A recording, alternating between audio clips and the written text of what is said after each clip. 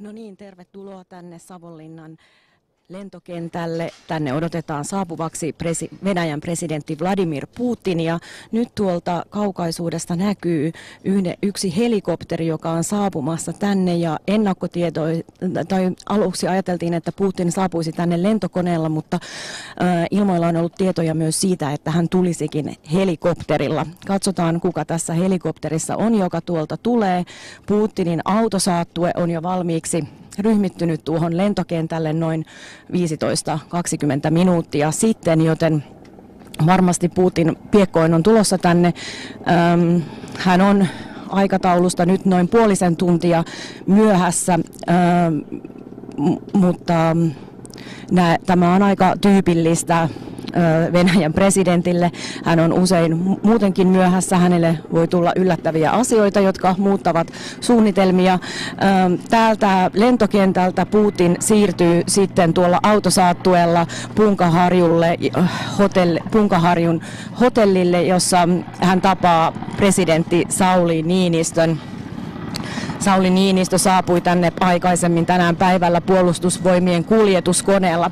No nyt näyttäisi todellakin siltä, että Putin on saapumassa tänne. Helikoptereita näkyy taivaanrannassa nyt jo myös kaksi muuta. Tuo ensimmäinen helikopteri on parhaillaan laskeutumassa tähän kentälle.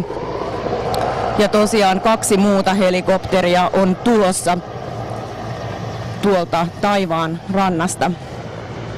Venäjän presidentti nähtiin nousevan eilen Petroskoissa helikopteriin ja silloinkin hän oli liikkeellä kolmen helikopterin saattueella.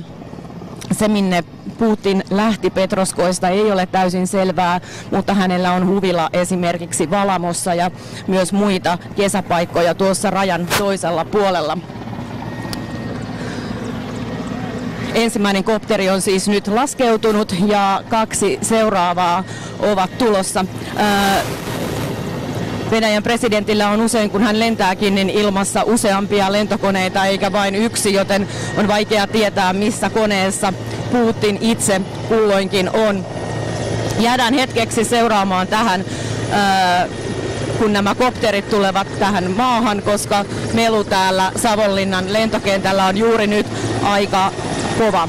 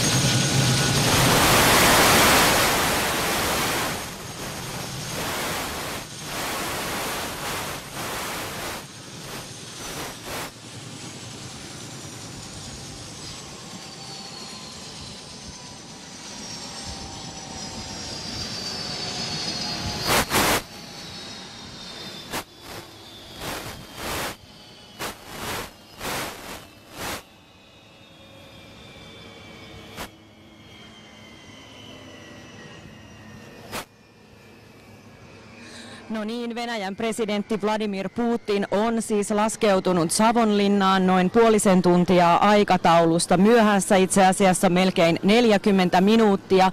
Nyt ö, nämä kaikki kolme helikopteria ovat laskeutuneet tähän ja, ja ensin niistä tulee ulos virkamiehiä.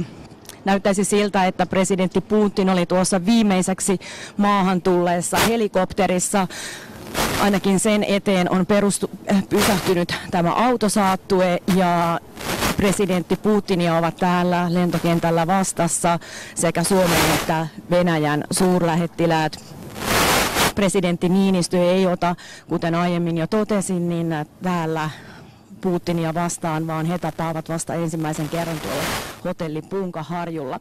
Nyt tuon viimeisen helikopterin ovi aukesi ja katsotaan näemmekö sieltä astelevan kohta ulos Vladimir Putinin esikuntaa sieltä tulee nyt ainakin ulos.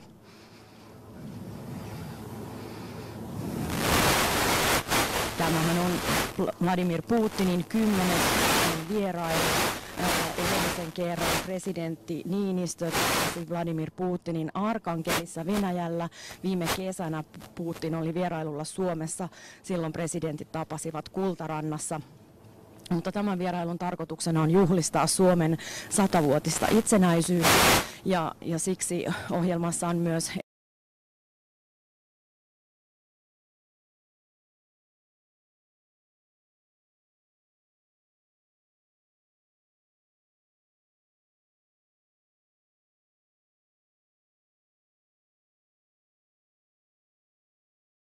ennen siitä presidentit syövät Olavin linnassa illallisen. Ja tästä tuo autoletka lähtee siis kohti hotelli Punkaharjua, jossa presidentti Niinistön pitäisi jo odottaa Vladimir Putinia. Kaikki näyttäisi olevan valmista hänen saapumistaan varten. Siellä ollaan jo selkeässä rivissä ja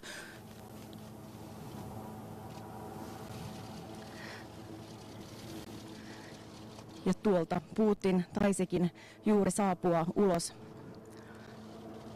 lentokoneesta, äh, helikopterista. Nyt hän siirtyy autoon ja tosiaan äh, on noin 40 minuuttia myöhässä tapaa ja matkustaa täältä Punkaharjulle tapaamaan presidentti Sauli Niinistöä. Äh, me tämän letkan lähtemisen tästä, joten pysykää katselemassa sitä.